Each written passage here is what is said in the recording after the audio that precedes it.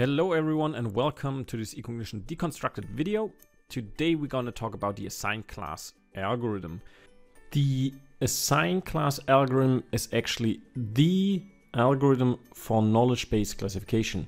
So if you want to classify image objects based on your expert knowledge, for example, a tree is defined as higher than 3 meters, then go for the assign class because you can use thresholds and features in combination and use your expert knowledge. And this is a simple classification algorithm which allows you to assign a class based on conditions. For example, you can use the brightness and uh, tell classify this object as class A if the brightness is greater than 200, something like that. So it assigns a class to an image object with certain features. You can define those features and using threshold values. And it's pretty simple to set up. So you add a new process to the process tree, select the assign class algorithm from the algorithm list, and then in the condition box in the domain, you can define conditions. You have value one, which is the feature that you want to use. Then you have the field operator, which is the comparison operator uh, equal to less or greater than and so on. And then the value 2 is the feature value. And then on the right hand side in the algorithm uh, parameter pane, you simply select the class you want to classify into. And then eCognition checks what you have to find in the domain. If this is true, it's gonna classify the object into the class you have to find in the parameter section on the right. And for the conditions, you actually can use AND or OR combinations. You can become fairly complex and you also can combine multiple threshold definitions. Um, so you could say it has to be brighter than 200, but the area smaller than 10 pixels and so on. Let's have a look at an example in eCognition developer.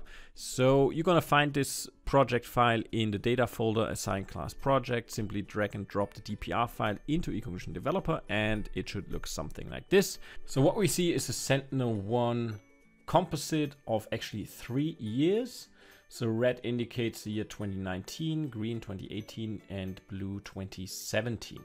Let's zoom in and we see actually here the ships on black background, which is the ocean, so that's water, and we see ships.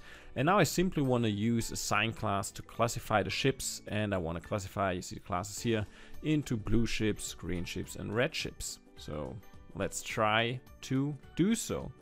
The setup here is simply creating image objects that are delineating the ships more or less, right? I'm using the multi-threshold segmentation several times here and that should give us nice objects to work with. Okay, execute this one and um, now we have objects. We also have fairly small objects here, but I, I didn't care, just want to have objects. I'm gonna change the outline color to yellow and you see actually that these ships somehow, if they have different colors, they're nicely delineated.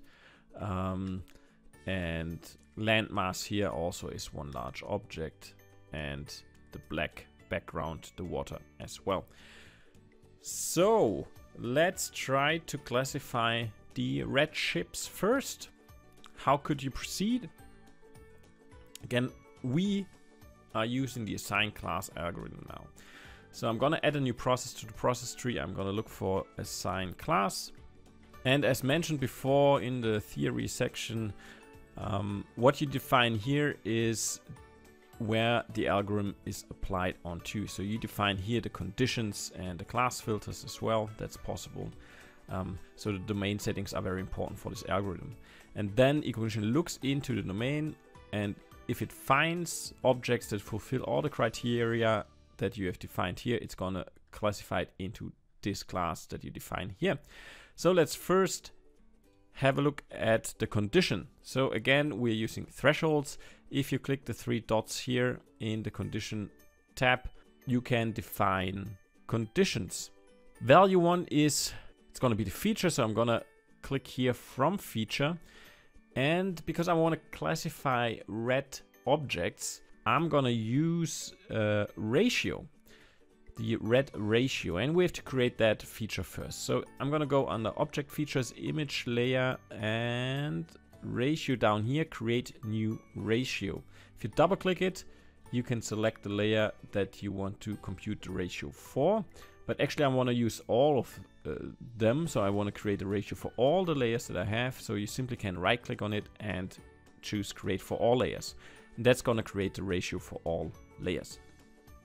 My case, I'm gonna choose red. Um, operator, if the ratio is greater than something, then zero, classified into the class.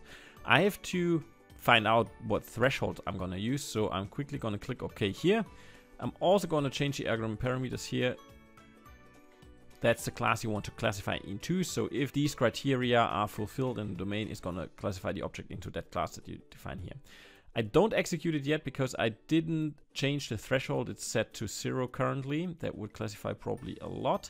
I'm clicking OK and let's find out the value for my red ships.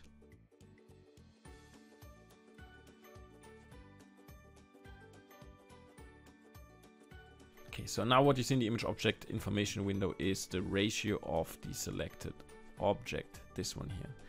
And that's a red object. And you see the ratio of red is very high, which means the ratio of the influence of the red band compared to the other input bands. If I click on a blue object, that should have a high ratio in blue because it looks blue. The ratio of the blue has to be higher. Okay, black is gonna be more or less equally distributed and also for white uh, it should be almost the same right? And that's why it appears white. Green again just to check it has a high value in the ratio green. And it's very high. It's above 0.9 for those and also for the red ones. Um, so I'm simply going to use a threshold of 0.9 I opened the process simply double clicked on it and now I'm gonna change the value to, to 0.9. So if the ratio red is greater than 0.9 in all the objects that are there in our new level, that's the level we created, class filter is none, then classified as red ships. Execute. Did something happen? Um, I'm just um, gonna go for grayscale here and now I'm gonna display my image objects and you see some objects are now red and those correspond to the objects that have a high red ratio.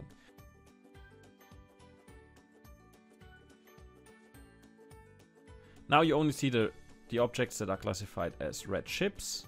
Okay, so what I see is we also have very small ships. Let's have a look how small they are and then try to kick them somehow out. Let's assume we are only interested in the big ships, okay?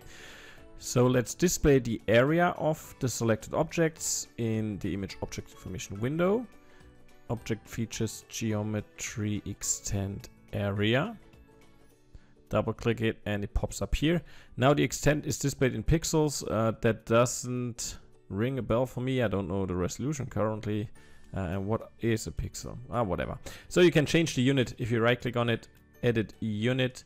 And for me, I like square meters. Okay.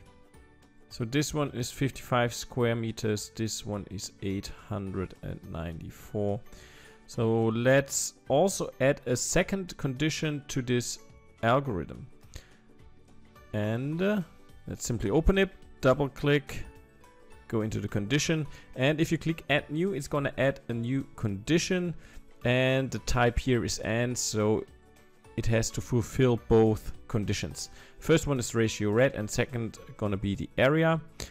Um, again, geometry extent area and now it also displays it here in square meters because I changed the unit down here. Let's say a ship has to be of a certain size. Let's go for 350 square meters. That's just a made up number. Okay. Um, clicking OK here. Let's also display the number of ships here in the image object information window so we know or see what's changing. number of classified.